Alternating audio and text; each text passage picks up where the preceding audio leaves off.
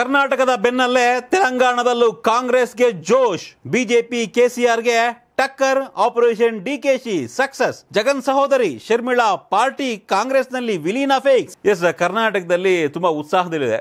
ಕಾಂಗ್ರೆಸ್, ಅದೇ ರೀತಿ ನಮ್ಮ ಪಕ್ಕದ ನೆರೆಯ ರಾಜ್ಯ, ತೆಲಂಗಾಣದಲ್ಲೂ ಕೂಡ ತನ್ನ ಒಂದು ಜೋಶನ್ನು ಮುಂದುವರಿಸೋದಕ್ಕೆ ಟ್ರೈ ಮಾಡ್ತಾ ಇದೆ. ಇದರ ಫಸ್ಟ್ ಸ್ಟೆಫು ಎನ್ನುವಂತೆ ಜಗನ್ನ ಸಹೋದರಿ ಶರ್ಮಿಳಾ ಅವರೇನು ಪಾರ್ಟಿಯನ್ನು ಕಟ್ಟಿದ್ರು. ವೈ ಎಸ್ ಆರ್ ತೆಲಂಗಾಣದ ಪಾರ್ಟಿಯನ್ನು. ಆ ಪಾರ್ಟಿ ಕಳೆದ ಕೆಲವು ದಿನಗಳಿಂದ ಚರ್ಚೆ ಆಗ್ತಾ ಇತ್ತು.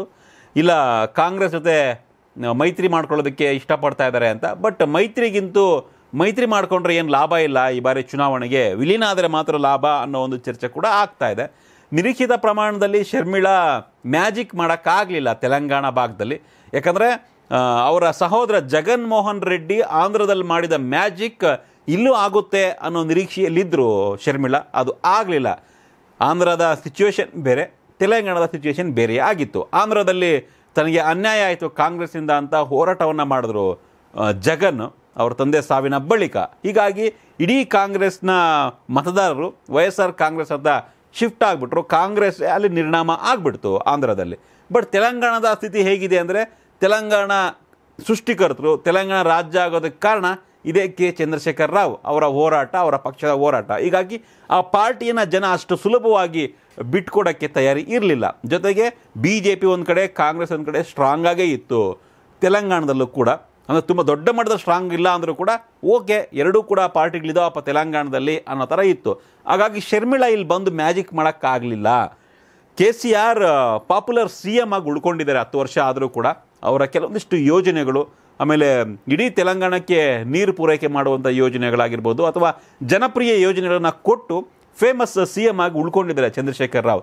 ಹೀಗಾಗಿ ಅಷ್ಟು ಸುಲಭವಾಗಿ ಫೇಸ್ ಮಾಡೋಕ್ಕೆ ಆಗಲಿಲ್ಲ ಶರ್ಮಿಳಾ ಕೈಯಲ್ಲಿ.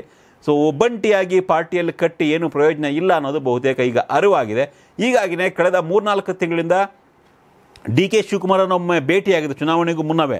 ಬಟ್ ಚುನಾವಣೆ ಆದ ಬಳಿಕ, ಕರ್ನಾಟಕದಲ್ಲಿ ಚುನಾವಣೆ ಆದ ಬಳಿಕ ಕಾಂಗ್ರೆಸ್ ಸರ್ಕಾರ ಬಂದ ಮೇಲೆ ಶರ್ಮಿಳಾಗೆ ಎಲ್ಲೋ ಒಂದು ಕಡೆ ಮತ್ತಷ್ಟು ಹೋಪ್ ಜಾಸ್ತಿ ಆಗಿದೆ. ಎಸ್ ಕಾಂಗ್ರೆಸ್ ಈಸ್ ಬೆಸ್ಟ್ ಅಂತ. ಕಾಂಗ್ರೆಸ್ಗೆ ಹೋದರೆ ಭವಿಷ್ಯ ಇರಬಹುದು ಅನ್ನೋ ಒಂದು ನಿರ್ಧಾರಕ್ಕೆ ಶರ್ಮಿಳಾ ಬಂದಂತೆ ಕಾಣಿಸ್ತಾ ಇದೆ. ಇದುವರೆಗೂ ಕೂಡ ಡಿ ಕೆ ಶಿವಕುಮಾರ್ ಜೊತೆ ಮೂರ್ನಾಲ್ಕು ಬಾರಿ ಚರ್ಚೆ ಆಗಿದೆ ಮೀಟಿಂಗ್ ಆಗಿದೆ. ಇತ್ತೀಚೆಗೆ ದೆಹಲಿಯಲ್ಲೂ ಕೂಡ ಶರ್ಮಿಳಾ ಅವರು ಡಿ ಕೆ ಶಿವಕುಮಾರನ್ನ ಭೇಟಿಯಾಗಿ ಪಕ್ಷದ ವಿಲೀನ ವಿಚಾರವಾಗಿ ಚರ್ಚೆ ಆಗಿದೆ.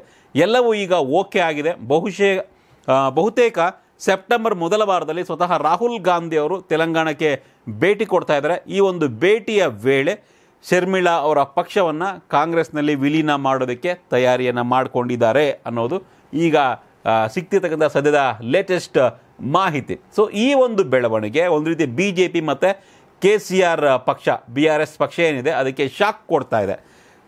ತೆಲಂಗಾಣದಲ್ಲಿ ಹೇಗಾದರೂ ಮಾಡಿ ಗೆಲ್ಲಬೇಕು ಅನ್ನೋ ಒಂದು ಉತ್ಸಾಹದಲ್ಲಿ ಬಿ ಜೆ ಪಿ ಇತ್ತು. ಕಳೆದ ಆರು ತಿಂಗಳವರೆಗೂ ಆದರೆ ಬಿ ಜೆ ಪಿಗೆ ಎಲ್ಲೋ ಒಂದು ಕಡೆ ಹಿಂಟ್ ಸಿಕ್ಕಂತೆ ಆಯಿತು. ಸಾಧ್ಯ ಇಲ್ಲ ತೆಲಂಗಾಣದಲ್ಲಿ ಗೆಲ್ಲೋದಕ್ಕೆ. ಅನ್ನೋದು ಅರಿವಾಗಿ ಈಗ ಸೈಲೆಂಟ್ ಆಗಿದೆ. ಹೀಗಾಗಿನೇ ತುಂಬ ಡೇರ್ ಡ್ಯಾಶಿಂಗ್ ಥರ ಇದ್ದಂತಹ ಬಿ ಜೆ ಪಿಯ ಅಧ್ಯಕ್ಷ ತೆಲಂಗಾಣಕ್ಕೆ, ಸಂಜಯ್ ಬಂಡಿ ಅವರನ್ನು ಕೂಡ ಬದಲಾವಣೆ ಮಾಡಿ, ಕಿಶನ್ ಕೃಷ್ಣ ಅವರನ್ನು ತೆಲಂಗಾಣದ ಬಿ ಜೆ ಪಿ ಅಧ್ಯಕ್ಷರನ್ನಾಗಿ ಮಾಡಿದ್ಮೇಲೆ ಅವರೊಂಥರ ಕಾಂಪ್ರಮೈಸ್ ರಾಜಕಾರಣಿ ಥರ ಕಾಣಿಸ್ತಾ ಇದ್ದಾರೆ ಈಗ ತೆಲಂಗಾಣದ ರಾಜಕಾರಣದಲ್ಲಿ.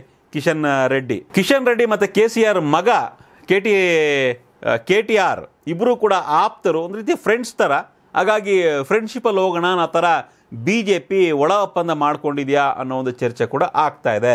ಬಿ ಜೆ ಪಿ ದೊಡ್ಡ ಮಟ್ಟದಲ್ಲಿ ಹೋರಾಟ ಮಾಡಿದ್ರೆ ಏನು, ಕೆ ಸಿ ಆರ್ಗೆ ಸ್ವಲ್ಪ ನಷ್ಟ ಆಗ್ಬೋದು, ಅದು ಕಾಂಗ್ರೆಸ್ಗೆ ಲಾಭ ಆಗ್ಬೋದು ಅನ್ನೋ ಲೆಕ್ಕ ಬಿ ಜೆ ಪಿಯಲ್ಲಿ ಇದೆ. ಹೀಗಾಗಿ, ನಾವು ಸೋತರು ಪರವಾಗಿಲ್ಲಪ್ಪ, ಕಾಂಗ್ರೆಸ್ ಅವ್ರು ಗೆಲ್ಲಬಾರದು ಅನ್ನೋದು ಬಿ ಜೆ ಪಿಯ ಸೂತ್ರ. ಹೀಗಾಗಿ ಎಲ್ಲೋ ಒಂದು ಕಡೆ ಮುಂದಿನ ದಿನಗಳಲ್ಲಿ ಲೋಕಸಭೆಯಲ್ಲಿ ಹೆಚ್ಚು ಕಮ್ಮಿ ಆದರೆ ಕೆ ಸಿ ಆರ್ ಬೆಂಬಲವನ್ನು ಪಡ್ಕೊಬಹುದು ಅನ್ನೋದು ಅವರ ಲೆಕ್ಕಾಚಾರ. ಹೀಗಾಗಿ ಕೆ ಸಿ ಆರ್ ಜೊತೆ ಒಳ ಒಪ್ಪಂದ ಮಾಡ್ಕೊಂಡಿದೆಯಾ ಅನ್ನೋ ಥರಕ್ಕೆ ಬಿ ಜೆ ಪಿ ಬಂದು ನಿಂತ್ಕೊಂಡಿದೆ. ಬಟ್ ಬಿ ಜೆ ಪಿ ಏನಾದರೂ ಮಾಡಲಿ, ಕೆ ಸಿ ಆರ್ ಏನಾದರೂ ಮಾಡಲಿ, ನಾವು ನಮ್ಮ ಹೋರಾಟವನ್ನು ಬಿಡಲ್ಲ, ನಾವು ಗೆಲ್ಲಲೇಬೇಕು ಅಂತ ಕಾಂಗ್ರೆಸ್, ಎರಡು ಹೆಜ್ಜೆನ ಮುಂದೆ ಇಟ್ಟು ಕಾಂಗ್ರೆಸ್ ಜೊತೆ ಈಗ ಶರ್ಮಿಳಾ ಅವರು ವಿಲೀನ ಆದರೆ ಕಾಂಗ್ರೆಸ್ಗೆ ಮತ್ತಷ್ಟು ಶಕ್ತಿ ಬರಬಹುದು. ಕಾಂಗ್ರೆಸ್ ಈ ಬಾರಿ ಚುನಾವಣೆಯಲ್ಲಿ ಮ್ಯಾಜಿಕ್ ಮಾಡುತ್ತಾ ಅನ್ನೋ ಒಂದು ಚರ್ಚೆ ಕೂಡ ಆಗ್ತಾ ಇದೆ.